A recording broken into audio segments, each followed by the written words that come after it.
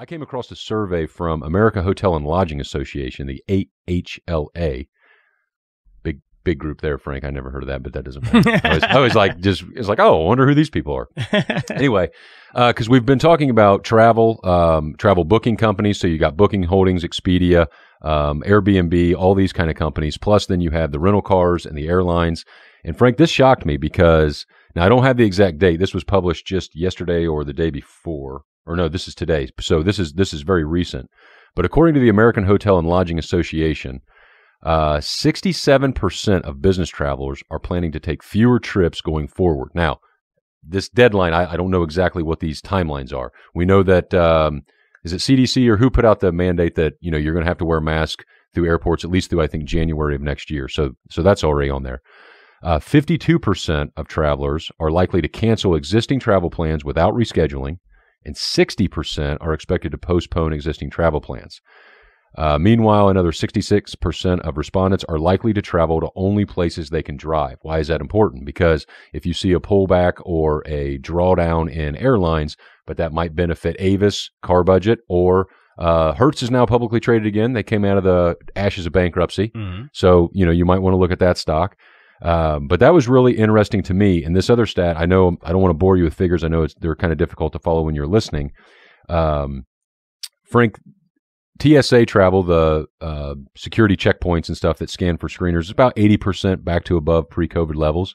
But they're talking about, and, and why am I breaking down um, this? I'll tell you, because the majority of airlines get their profits from business class and first class, Frank. Mhm. So it's not your coach classes that, you know, the schmucks of the world like me fly. It's all for all those higher class people.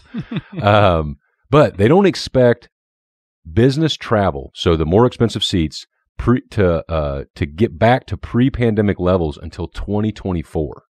Now, I might have missed this, Frank, but I'm I was surprised by that. 2024 is a long way away to get back to business travel, in my opinion, based on where we were going with the vaccine being out there, uh, the number of vaccine shots getting uh, out into distribution and all that. So I kind of wanted your this. I just saw this today, so this is kind of out of left field. But I mean, we'll run long on this segment, but I would tell you from that, we I think we all know that the vaccine doesn't work because people, a lot of people get a Delta variant. And oh, yes, here we go. We're gonna get in trouble now. No, but you, you know that you're not getting. I know. I'm waiting to get kicked off. Right? Everyone says you're gonna get kicked off all these platforms. Keep saying that, even though it's the truth. But but seriously, people who got it realize you're seeing people who got it are wearing masks like crazy, even in Florida. hmm Uh, so, you know, when it comes to traveling, even though the airplane is probably the safest, the safest, and this is, you know, you talk to any pilot, you talk to anyone on the inside. I mean, the- it gets filtered and you know, uh, one of the probably the least places that you would get on the airplane. Maybe in in the terminal is different, but you know, and, interaction with people, it's different. But you know, when I look at at the airlines and people traveling less, one thing that changed us is international travel if you go someplace international and you have to get tested for COVID to come back in, even in the US, and, and a lot of these hotels are set up to do that for you. But if you get COVID, you're going to be quarantined two weeks. Now you got to stay in that country for another two weeks. I mean, you know how expensive that is? You know how, how troubling that is? You know how hard? And you got to be in quarantine. You know, it, it- it's it's scary to be quarantined in another country. I can see another country. In the U.S., there's different states that are, you know, taking it much more seriously than others. I don't want to travel to New York, but I am going to be traveling to Baltimore. I'm going to be traveling to Dallas and places like that soon. Uh, I- I see it. I mean, I, I see it. I, you know, when it comes to business travel. However, I think people are going to realize that, you know, if they're healthy, if they're in good shape, uh, and they got vaccinated already, uh, you know, there is less, a much, much less of a chance of you uh, of getting, you know, deathly ill from this. Uh, which I think we have to get used to to to COVID. I think it's going to be here forever. Maybe not forever. Maybe, a long, a very long time. I think it's just like a version of the flu that's a little bit worse. So we, it's going to be a seasonal thing. Uh, and that's just the way it's going to be. Right now, we're talking about booster shots, and then there's leading doctors saying, well, you're going to need at least two booster shots. so, you know, you're going to see more variants. eh, But the fact that a lot of people took the vaccine saying we're going to be okay, and now they're getting COVID again, again, they're getting it mildly, which, which the vaccine protects against. But that's going to result in, a little bit less traveling, and it makes sense with, with, with cars, right? Because you're driving, and, and you know, rent a car plays are great on this. I still think eventually this is going to open up. People are going to get used to it. They're all kind of used to it now. You're not seeing like massive fear like there was, you know, nine months ago. Uh, I think airlines on these pullbacks are fantastic. It's one of the sectors that hasn't gone above their pre-COVID levels. It's still 20, 25% off. Uh, I like airlines have a three year time frame. Maybe they go down 10% from you, 15%. I know three years from now, they're going to be a lot, lot higher, probably easy double. And I can't say that for a lot of sectors, even big tech, that you're going to get an easy double in three years from these levels where things are getting a little out of control and a little expensive here. But uh, I see that. I see that. And also, we saw less hiring too, really quick. We'll cover that, right? I, I mean, uh, you know, Jackson Holes last week, and the, the Fed basically said, hey, we're not doing nothing anything. burger.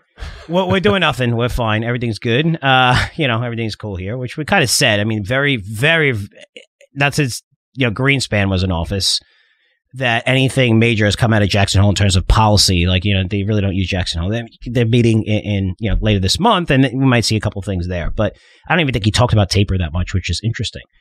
But I did see the reports from today, and I want to talk about this before we go, and not to run too late here, is uh, the jobs report.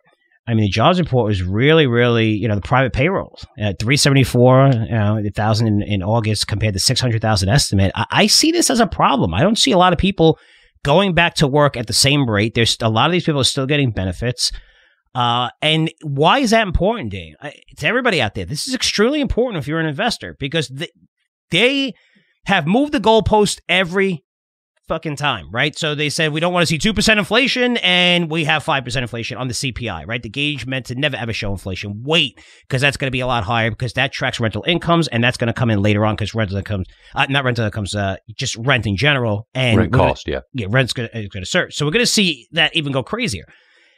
So then they're like, well, we want to see the unemployment rate go back down. Now they moved it again. We want to see the unemployment rate go down to, to pre COVID levels, which is 3.9, 3.8. And what are we at? 5.2.